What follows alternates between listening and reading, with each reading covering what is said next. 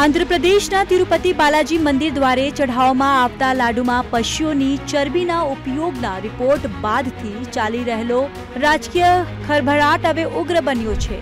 હવે આ મામલે રાજ્યના નાયબ મુખ્યમંત્રી પવન કલ્યાણે પ્રાયશ્ચિત કરવાનો નિર્ણય લીધો છે. તેઓ આજથી અગિયાર દિવસના પ્રાયશ્ચિત ઉપવાસ શરૂ કરશે. પવન કલ્યાણે અગિયાર દિવસની તપસ્યા કરતા પહેલા એક સંદેશ પર લખ્યો હતો. પવન કલ્યાણે લખ્યું, હે ભગવાન બાલાજી, મને માફ કરો પ્રભુ. તિરુમાલા લડ્ડુ પ્રસાદ કે જેને અત્યંત પવિત્ર માનવામાં આવે છે, જે અગાઉના શાસકની અનિયંત્રિત વૃત્તિઓના પરિણામે અપવિત્ર બની ગયો હતો. પ્રાણી ચરબીના અવશેષથી દૂષિત હતો. ક્રૂર મનવાળો જ આવા પાપ કરે છે. આ પાપને શરૂઆતમાં ન ઓળખ્યું એ હિન્દુ જાતિ પર કલંક સમાન છે. લાડુના પ્રસાદ પ્રાણીઓના અવશેષો હોવાની જાણ થતાં જ હું પરેશાન થઈ ગયો. હું મારી જાતને દોષિત અનુભવી છું. હું લોક કલ્યાણ માટે લડી રહ્યો છું. દુઃખની વાત છે કે આવી સમસ્યા શરૂઆતમાં મારા ધ્યાન પર આવી ન હતી. તેમણે આગળ લખ્યું, સનાતન ધર્મમાં આસ્થા ધરાવવાના દરેક વ્યક્તિએ કળિયુગના ભગવાન બાલાજી સાથે કરેલા આ ભયંકર અપચારનું પ્રાશ્ચિત કરવું જોઈએ. આ ભાવના જ પ્રાશ્ચિત શરૂ કરવાનું નક્કી કર્યું છે.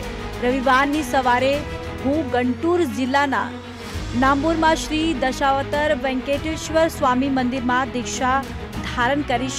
અગિયાર દિવસ સુધી દીક્ષા ચાલુ રાખ્યા બાદ હું તિરુમાલા શ્રી વેંકટેશ્વર સ્વામીના દર્શન કરીશ. ભગવાન, હું તમને વિનંતી કરું છું કે તમે મને ઉગાવની સરકારો દ્વારા તમારી વિરુદ્ધ કરેલા પાપનો ધોવાની શક્તિ આપો. પવન કલ્યાણે પોતાના સંદેશમાં વધુમાં જણાવ્યું હતું કે આ ગુનાઓ ફક્ત તે લોકો કરે છે જેઓ ભગવાનમાં વિશ્વાસ નથી કરતા અને તેમને પાપ કરવાનો ડર નથી. મારું દુઃખ છે કે બોર્ડના સભ્યો અને કર્મચારીઓ કે જેઓ તિરુમાલા તિરુપતિ દેવસ્થાનમ સિસ્ટમનો ભાગ છે તેઓ પણ ત્યાંની ભૂલો શોધી શકતા નથી.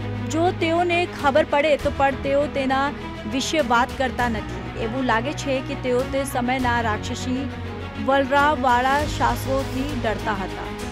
અગાઉના શાસકના વર્તનથી હિન્દુઓને દુઃખ થયું.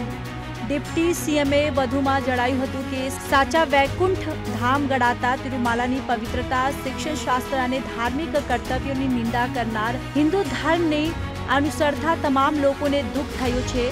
તે જ સમયે લાડુને પ્રસાદ બનાવવામાં પશુઓના અવશેષો ધરાવતા ઘીનો ઉપયોગ કરવામાં આવતો હતો. તે વાતથી પણ મને અત્યંત વિગ્ર છે.